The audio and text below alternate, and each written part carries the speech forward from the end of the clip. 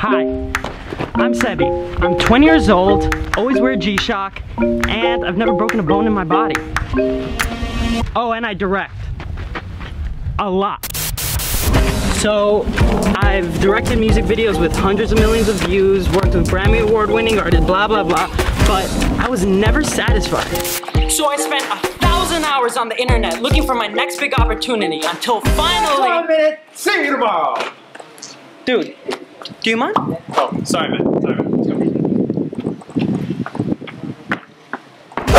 Until finally, some guy on Facebook invites me to Senegal.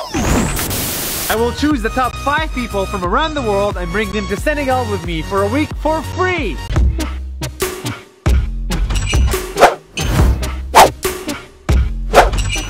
And then next thing you know, I'm on my way to Senegal.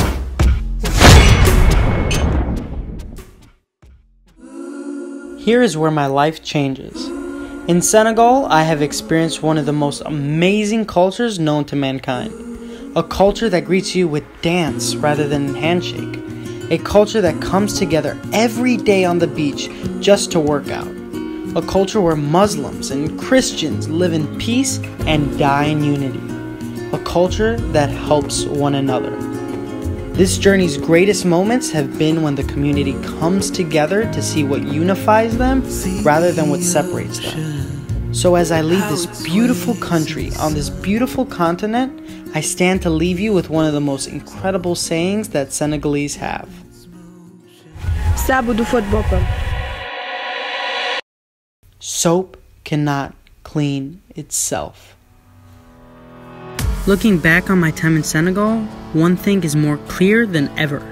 We need one another.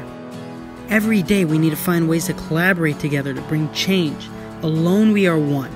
Together we are many. Thank you, beautiful Senegal. And thank you, Nas, for allowing me to have this life changing opportunity.